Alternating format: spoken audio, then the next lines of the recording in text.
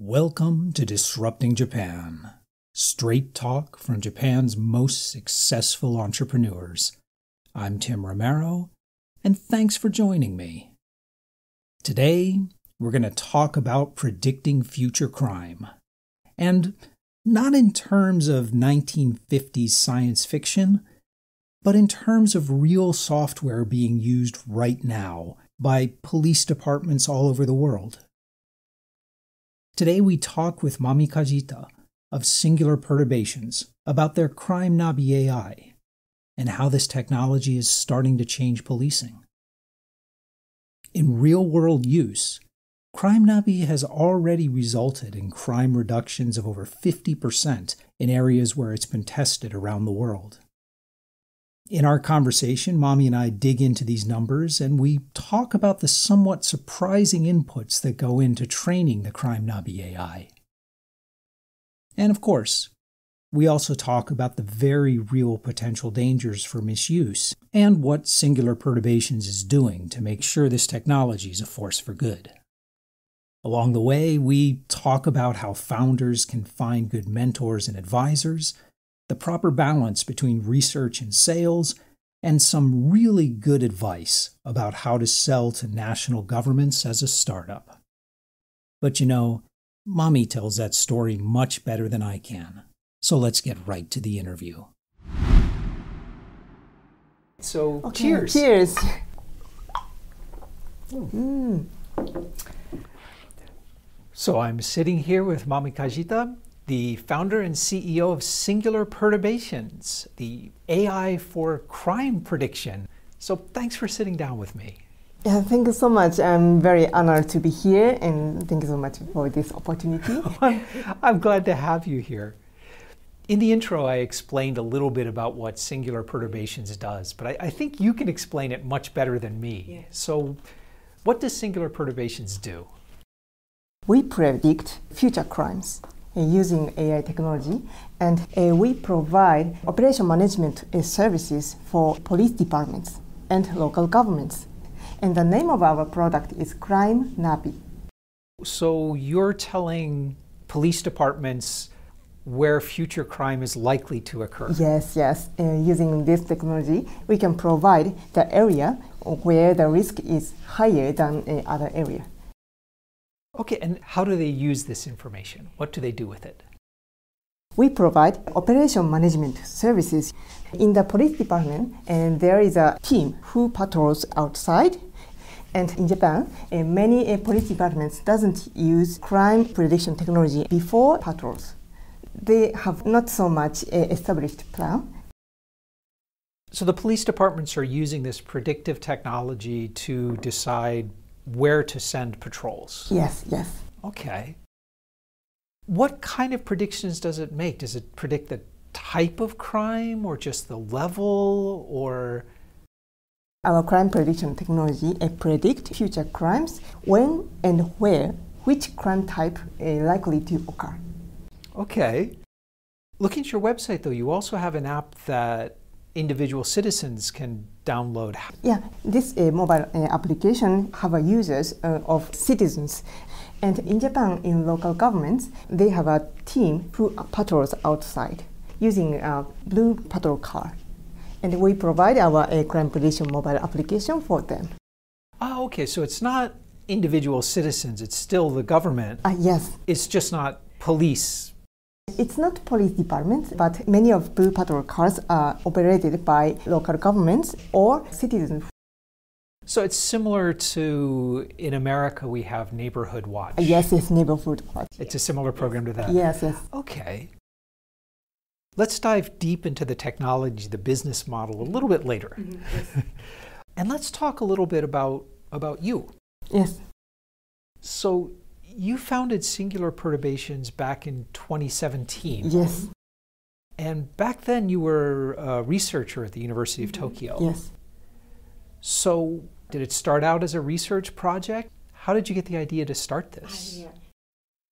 I have a background of theoretical physics. My, my uh, research topic is about glass transition. The topic is very different from the crime prediction technology.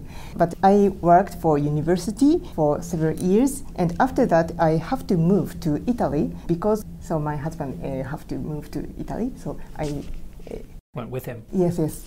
At the time, I quitted my research topic, and I was thinking about my future and my research background is theoretical physics, but I think that theoretical physics is a very basic topic.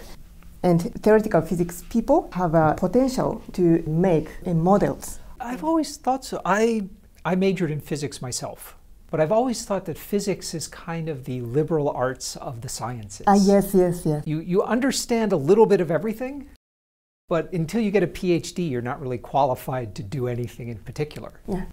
So the mathematics and the modeling for the glass transitions, mm-hmm. is it similar? Ah, yes, very similar. Yeah. Using this background, this kind of basic liberal arts background helps to create a new business. I think that there is a many similarity between researcher and entrepreneur.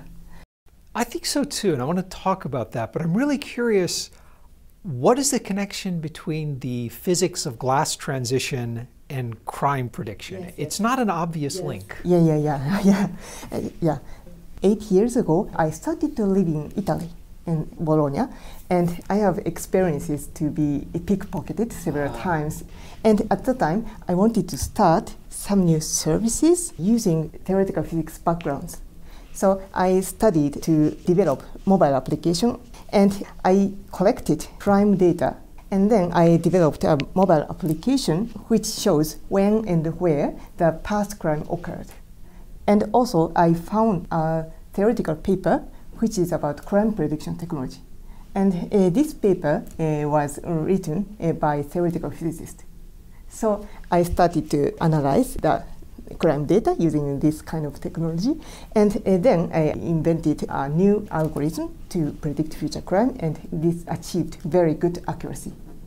Were you a researcher while you were living in Italy, or was this just a side project you were doing for fun?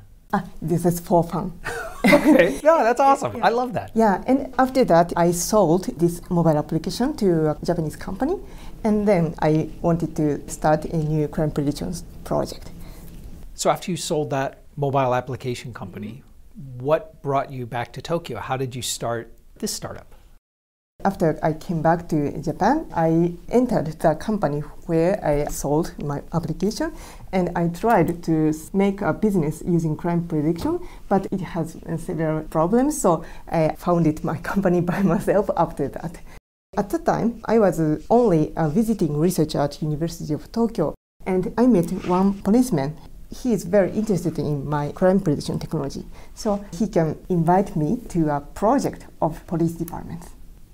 This is interesting to me. So, when you went to the University of Tokyo as a researcher, mm-hmm.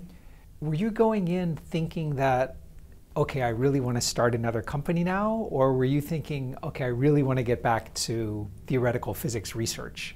Uh, after I have experienced long time research, I was very devoted in that topic, but I also think that may- maybe I can help some people, but the impact is not so big.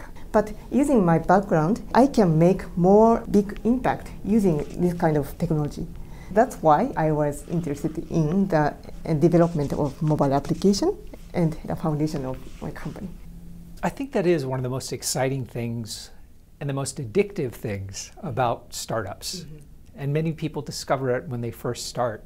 Um, how valuable what you make is to your customers mm-hmm. and how appreciative they are.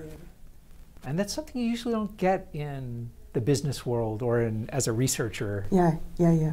It's nice. So you're still doing fundamental research, and that was a, a NEDO grant, right? Yes, NEDO grant, yes. So one of the things a lot of researchers struggle with is the pull between doing long-term fundamental research mm-hmm, yeah. and having to sell this much product this quarter to, to make sure you're on track to get your next funding round. Yeah, yeah, yeah. How do you handle that, that conflict? Yes, At first, when I found my company, we can only provide crime prediction report. But this type of report doesn't change the police department's operation. Yeah. So we want to change the operation. Well, let's talk about some of your successful trials and proof of concepts you've run so far. You launched a project uh, in Adachiku in 2020, in Nagoya last year. Yes, yeah, yeah. So, what were the results? Yeah, uh, Nagoya City uh, introduced our product, and many other local governments and the police departments started proof of concept. And now we started proof of concept in Latin American countries. And after this proof of concept, the number of crime decreased. So, if I understand correctly, the way the proof of concept runs is you will work with the police department, analyze existing data, recommend new patrol routes Yes. based on this data. And what do they measure? Yeah, what yeah. determines if it's a success or not? Yeah, yeah. There is some ways to measure impact. One of them is to measure number of crimes during the POCs, and the largest way is A/B test. We prepare two areas where the number of crimes are very similar, and we provide our Crime Nabi application to a one of them for the first month, and after one month, we provide Crime Nabi mobile application to others.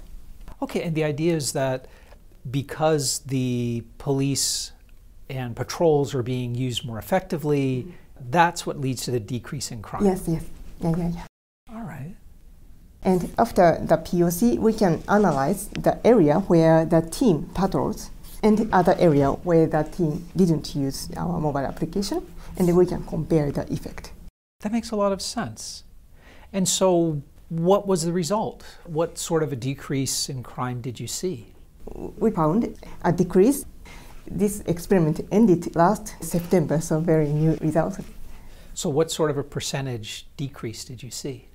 It depends on the area, but the number of crimes decreased by 68%. 68% drop? Ah, yes, but there is many reasons, so we cannot divide Oh no, no, but that's that's amazing. Sixty-eight percent reduction is is astounding. Um, but what what types of crimes are we talking about here? Is it like graffiti type crimes? Is it Uh, like the crime pickpocket crime? uh, pickpocket type, and this a type of theft. okay, that, that that's a bigger number than I expected. Um, let's let's dig into that a bit. Is that a result of increased patrols? It's the same number of patrols going on in these areas, right? And this result is very early analysis, so we have to analyze more. No, I understand. I mean, I'm not I'm not going to argue math with a theoretical physicist. I'm, so there is many effects from the patrol. Maybe some number of crimes move to the area outside. What goes into the AI model? What is the data you're looking at? Crime data changes depending on the police departments, especially in Honduras. The police departments are very, very interested in the homicide.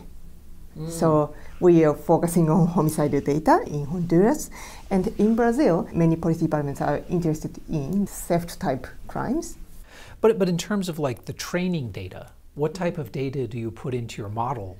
And we use many data, sometimes past crime data, and also land use data, and sometimes we use satellite image data. So land use data means like whether it's residential or warehouse yes, or yes, okay. yes, yes, yeah. How the area is used. For example, houses or the shops, in the kind of shops, all kinds of image data we can put into our model. In another interview, you also talked about some other data you were using, weather data, Ah, yes, weather data, yes. traffic. Yes, traffic data, yes, we can use, but now our system doesn't include them. But I read in another interview you mentioned you were actually using Twitter posts. ah, we tried some years ago, yes, and it helps in some cities. Really? Yeah, yeah, yeah. Why? Yeah. You know, just- Ah, there is a paper that shows the Twitter data is effective for crime prediction because we use Twitter data with latitude, longitude. And sometimes Twitter data includes uh, some traffic accident or some events. You know, I'm sorry, I'm just trying to wrap my head around why Twitter data has any predictive power at all. So is it like people are tweeting about the accidents or the crime first, or is it just where there's a lot of people tweeting crime is low. What what's the the influence there? Ah, yeah, yeah, yeah. Many kinds of Twitter data is effective. For example, delay of airplane. Okay. Yeah. I'm sorry. Why? Why? I, don't, I don't see the connection. Ah, but sometimes this kind of accident uh, changes the density of people. Oh, okay. And the density of people obviously has an effect on crime, particularly like the theft crime, Yeah, pickpockets. yeah, and- yeah. Ah, okay. But the effect is not so big. but But it exists. yes, yes. Is that robust? Is that true in all countries? Ah, we only tested in the United States, so Oh, Interesting. What's been the public's reaction to this? I mean, I'm sure you get compared to Minority Report all the time. yeah, all the time. Yeah, yeah, yeah, yeah. But, but what's been the public reaction to it? We provide services to governments now, but we want to uh, provide also for the general customers. We want to uh, make a safe road using crime prediction technology, and we will start a new proof of concept in Uruguay from next spring. And also, we want to provide our services for travelers. So, with AI in general, people are both excited about it and kind of scared of it at the same time. Have you had any reaction from the public about whether this is good or exciting or scary or Yeah, some of uh, people are scared about this kind of technology. And when we provide our crime prediction patrol route, some policemen have to move to the very dangerous area. And some of them are feared about this. Uh, this is, this Well, is also I mean, they should be going we to the get, we- dangerous- We, get yeah. this kind of interviews. But I believe that this kind of technology helps to decrease crimes. But isn't there a chance of having this this kind of negative feedback loop? So, for example, you get more patrols in an area, Mm-hmm. So you get more arrests in the area, which leads to higher crime in the Yes, area. yes, which yes. I, mean, Yeah, yeah, yeah. how do you prevent that from happening? Yeah, that can happen. And now our models doesn't include this development, but this kind of bias is possible. So we have to put some randomness for the patrol route. Oh, that makes sense. So you in, you do introduce some randomness, and then you look at the effect of that randomness Yes, yes. to double check the Yes. accuracy. Yes, yes. And our crime prediction system, Crime Nabi, also makes patrol route with the input of the point data. And police departments have to go to this kind of point, Right. and they can input the point to our Crime Nabi system, and we can make a patrol route. So we don't determine all of the patrol operation. We only support, and policemen decide. Well, I, I understand that, but as um, fascinated as I am with the, the technology of AI, we humans are, are deeply flawed. I, I think we want to believe computers too much. And every time AI has been rolled out, uh, so for example, in America, there's, I don't know if it's AI, but computer systems in general that are being used to like set bail or for advising on sentencing. And human beings love to say, oh, well, the computer did it. It's not me, it's the computer's decision. Yeah. And so you can say, well, the police have the final choice, right? But I think the natural human reaction is to trust the computer. Mm. We don't want to replace the human. We want to support because the accuracy is not 100%. This kind of technology can help people's analysis and management, people's planning, but we should not decide total operation. We can make a heat map of crime prediction and policeman can input the point where he have to go. From this operation, he can put his intuition to the patrols. Okay. So we want to blend the algorithm and the human intuition. So this has been amazing developments just in five years. What does the future of this technology look like? If you look five years or 10 years ahead, Yeah, we provide Crime Nabi to uh, local governments and police departments now. But we want to provide crime prediction technology to general users like travelers or expats. And crime prediction technology needs past crime data. But past crime data is not totally open. The case is very limited, the area is very limited. So we developed a transfer learning algorithm, very new algorithms. And this enables us to predict future crime in the area where we don't have crime data. Okay, so right now you're focusing on government sales, police department, security services. Yeah.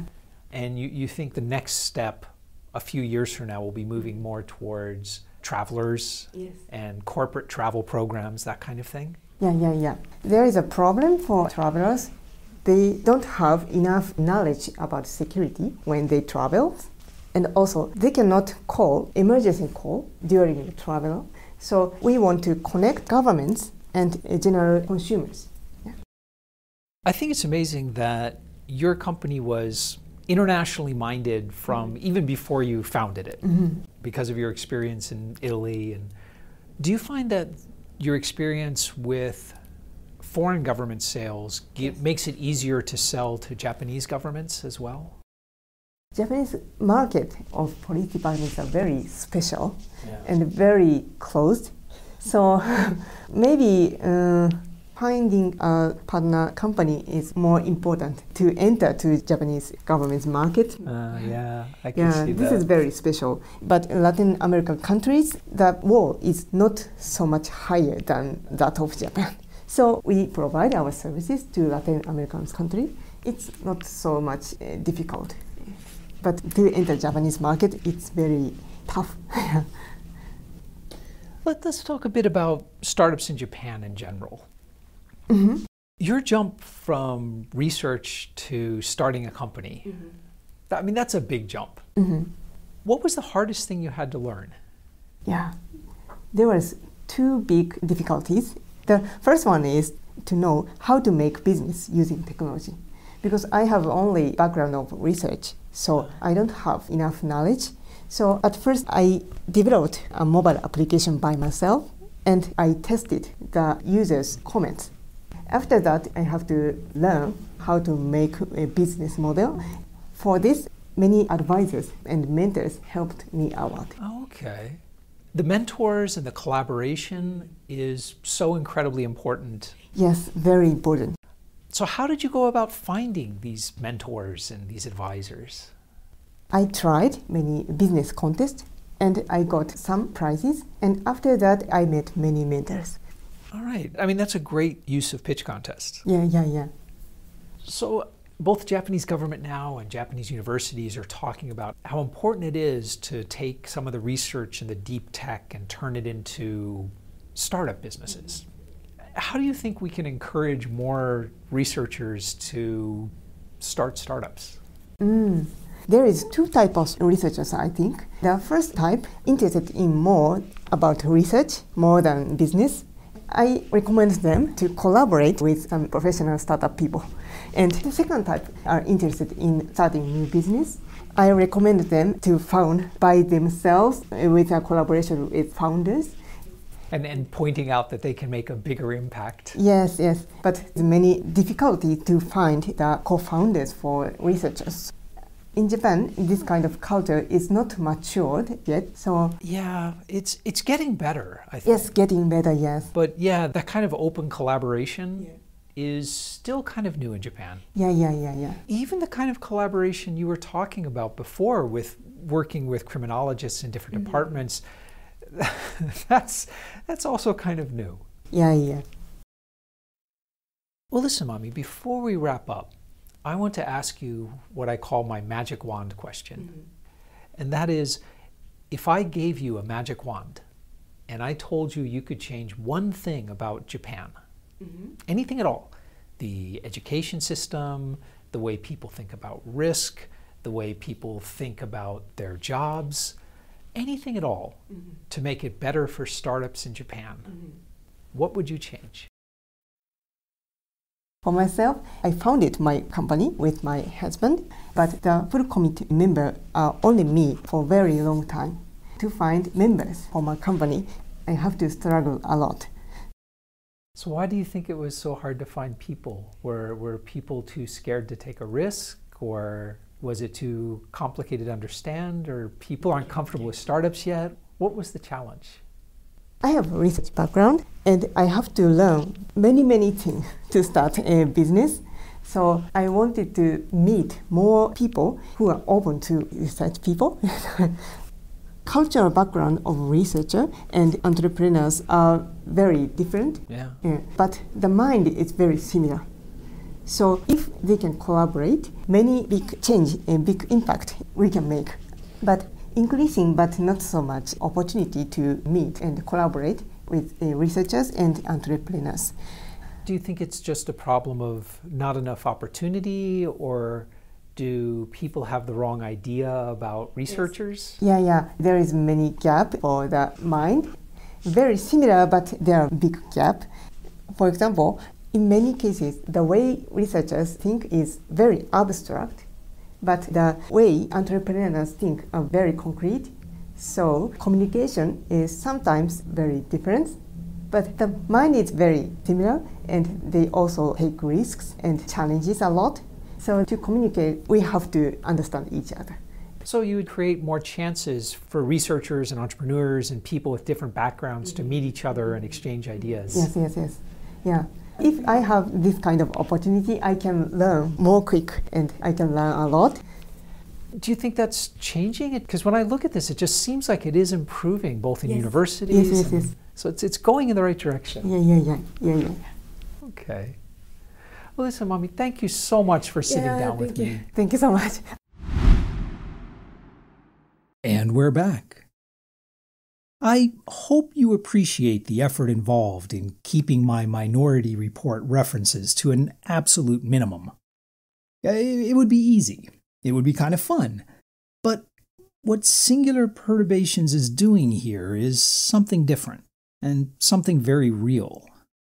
I mean, a 68% reduction in crime is too big to ignore.